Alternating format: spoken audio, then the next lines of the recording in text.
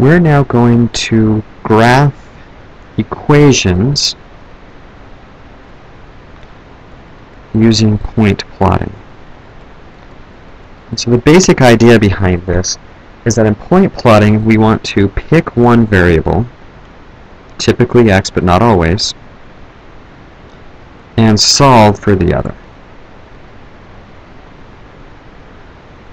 And then that's going to give us an xy point which we can plot and then we can connect the dots to get the shape of the graph. So we're going to start with two straightforward examples. We're going to start with a linear equation to start with, y equals minus 2x plus 4.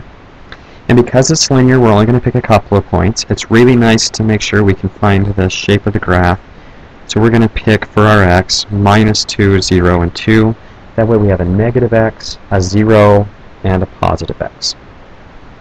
And so we plug these in. When we plug these in, we get y equals minus 2 times minus 2 plus 4. Minus 2 times minus 2 is 4. 4 plus 4 is 8, so I can plug in 8 right here. For my next one, we get y equals minus 2 times 0 plus 4, which is 0 plus 4, and we get 4. Our last one, we're going to plug in 2 plus 4. Minus 2 times 2 is minus 4. Minus 4 plus 4 is 0.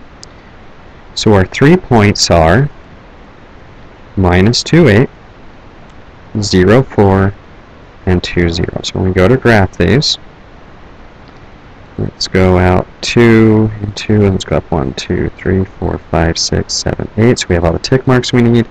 We then put a point at minus 2, 8, because that was one of the points we found at 0, 4. That was another one. And the last one at 2, 0. And with these three, and keeping in mind that this is a linear equation, so it's a straight line, the line and the word linear helps us remember that, we can draw our straight line like so, and we just say, hey, this just keeps continuing along this direction, and we've now graphed y equals minus 2x plus 4. Now an interesting point to make is how we chose the minus 2, the 0, and the 2. And a lot of the times it doesn't matter, but you want to be able to pick points that make it easy to solve and give nice integers. And so I picked minus 2, 0, and 2 because they're fairly spread out, and because minus 2 in front of the x is a an integer, not a fraction, I can pick anything I want. But if it was a fraction, say if I were to look at y equals 1 half x plus 2, I'm going to want to make sure I pick x's that are multiples of 2. And for 2, of course, that's easy. We just make sure we pick even numbers. But we want to pick multiples of the bottom number so that the fraction goes away and then we get our integers out of it. The next example I want to show is a little bit more complicated because we're going to change it. Let's have x equal y squared. Since the x is solved for, this means we want to pick y's and then find the x because the y is the complicated piece. So we're going to change things up and because it's a y squared we're going to pick a few more values. Let's pick minus 2, minus 1, 0, 1, and 2. And again we're just going to let x equal our value that we picked and squared. And minus 2 squared is, of course, 4.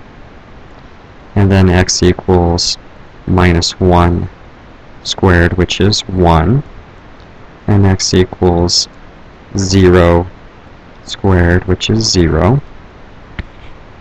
And x equals 1 squared, which is 1.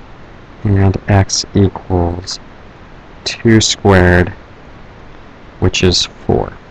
And I tend to basically double whatever the highest power is and add 1 to figure out my points. And I want to try and find the spot that it turns around, and that's real easy in this case. We're going to plug in 0. Because as you notice, as I go up and down from the 0, it matches.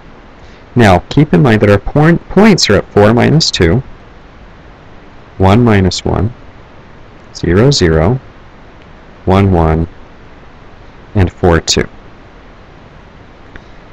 And so we're going to go up 2, down 2, because those are the extremes that we found, and one, over 1, 2, 3, 4.